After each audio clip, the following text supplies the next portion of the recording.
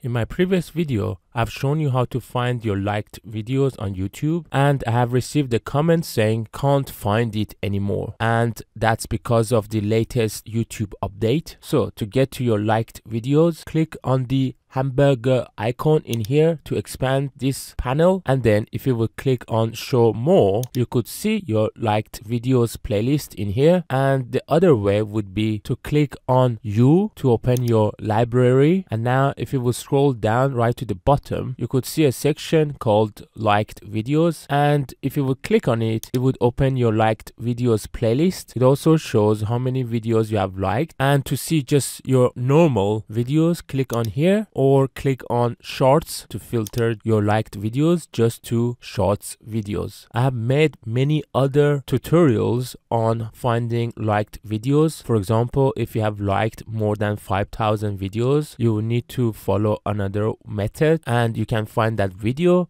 in the description as well as on the screen. If this video was helpful, please don't forget to subscribe and like to help others find this video.